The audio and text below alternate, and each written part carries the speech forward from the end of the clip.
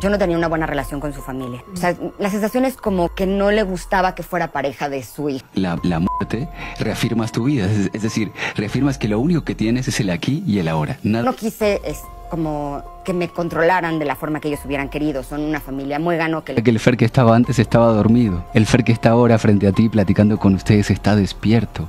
me dijo que quería el divorcio, que él sentía que el En una ocasión le hicieron una entrevista a Ingrid Coronado, quien fue la esposa de Fernando del Solar, y aquí ella afirmó que en una ocasión el conductor le pediría el divorcio porque él sentía que por ella tenía esa enfermedad difícil. Fue muy compleja el hecho de saber que me estaban señalando por algo que yo no hice. Eso no es todo porque luego de que ella se separa, tuvo que pasar por un difícil periodo debido a los señalamientos que las personas hacían hacia ella, ya que había dejado a Fernando en uno de los momentos más difíciles de su vida. Quiero que quede claro que más allá de quién tomó la decisión, no se trata de tener la razón. En ningún momento para ese entonces, pues Fernando salió a hablar del asunto. Luego de que pasó por esta enfermedad, habló en una entrevista un poco sobre lo que sucedió donde afirmó que no se trata que ninguno de los dos tiene que tener la razón. En estos momentos no hay razón que valga la pena, está tu vida en juego. Para ese momento de su separación, él tenía la enfermedad, entonces lo que Fernando afirma es que lo más importante en realidad era su salud, su bienestar.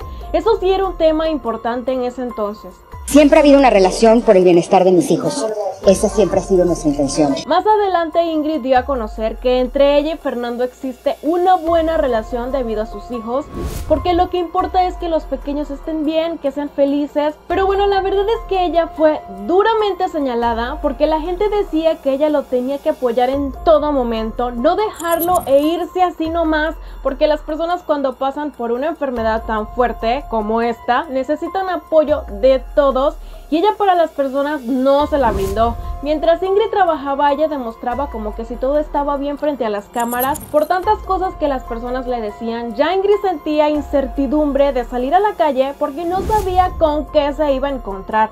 Pero la verdad y según lo que ella menciona, es que quería apoyarlo y ayudarlo. Después la vincularon amorosamente con otra persona y el asunto empeoró. En ese momento Fernando como que se acercó a ella para intentarlo una vez más, pero Ingrid diría que ya no quería más nada con él. Supuestamente el conductor le había pedido dos veces el divorcio. La verdad es que ella ya estaba cansada de que le pidieran el divorcio y de los señalamientos de las personas y él no intervino para que pararan esos señalamientos. Sería tiempo después que salió y explicó un poco de cómo ellos tomaron la decisión de terminar. Después de eso Ingrid decidió pasar la página y concentrarse en su nueva faceta de escritora pero está claro que ambos la pasaron súper mal en ese momento.